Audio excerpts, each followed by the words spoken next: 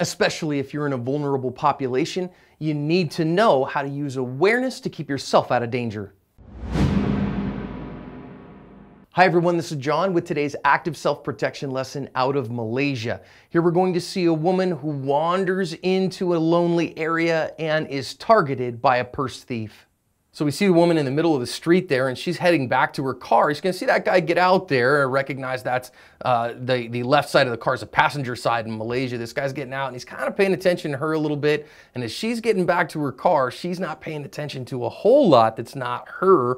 And so she's kind of digging around for her keys and getting to her car and he is gonna use that as an opportunity here. He's gonna run up around the outside of her and reach around and snatch her purse, which she doesn't really want to give up, but that's going to get her thumped into the ground pretty hard. Now they are going to uh, jump in the car here and run off. And notice that she is laying there on the sidewalk. Now this guy on the moto has seen all this go down and now he's kind of coming up. I've sped it up for the sake of time and he's just going to kind of pull over and look and kind of watch and a bunch of cars are going to drive by with this woman who is sitting there in a ditch having just been significantly victimized. In fact, she's going to roll over into the ditch and that's where this one ends. Boy, it happens just that fast. If you appreciate the lessons that you get here every day at Active Self Protection, do me a favor, hit that subscribe button, turn on the notification bell so that you don't miss a lesson. In this one, I want to talk about a couple of important things, including being a part of a vulnerable population, about how awareness can buy you time and options, and why isolated areas can be as dangerous as transitional spaces. Now, let's think about, first of all, this transitional space that she's in. Now, here what we're talking about is this is a desolate space.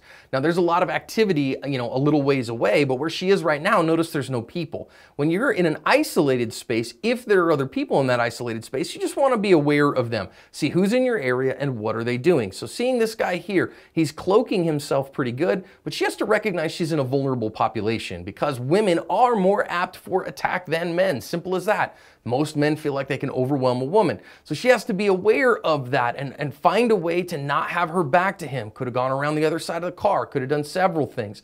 But now he's going to come around this outside of her. And I want to talk about the fact that your awareness is more than your eyes. We tend to see all the time, see what's in your space, but also hear what's in your space. If she had heard him kind of going around behind her, she might have been able to avoid this attack or at least put herself in a better position. Now, I'm not saying that most women are able to fight off most men. I think it takes a very high level of skill for a smaller, less upper body strength person to fight off a larger, more body upper body strength person, and most women don't have that. I'm not saying there are not some bad women out there who are incredible fighters, okay? Now, he's grabbed a hold of her and he grabbed a hold of that purse and recognize in that moment that she has gone down for that, which is why I tell women I really recommend that if you're going to carry a big purse, that you carry it crossbody. And the reason that I say crossbody is the crossbody will deter bad guys from yanking it off you like that. To kind of recognize when they see a crossbody, they can't do that. If it's on your arm, I, I would really rather have it be in your hand than just hung over your shoulder because I see this happen all the time that they get yanked down to the ground when some guy wants to grab that purse and sometimes badly hurt. Now, I do want to think about being a bystander here. These guys run off, and this woman is obviously badly hurt, and this guy on the motorcycle is kind of going, uh, what do I do?